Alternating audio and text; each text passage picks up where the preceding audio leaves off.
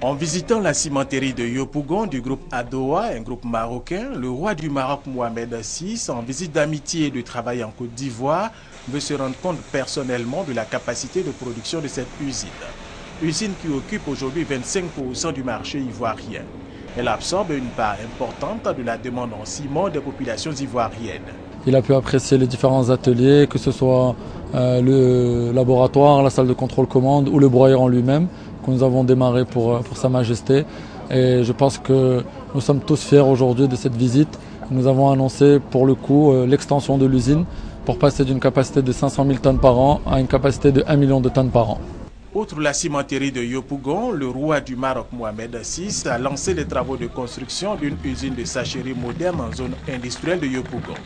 La durée du projet, 12 mois. Son coût, 8 milliards de francs CFA. Dans la phase de construction et de mise en service, nous prévoyons, nous tablons sur la création de 500 emplois directs et indirects. Mais une fois que l'usine démarrerait, donc nous commencerons par une cinquantaine de personnes dans un premier temps, puis dès l'installation de la nouvelle machine, nous irons sur 80 personnes, emplois directs.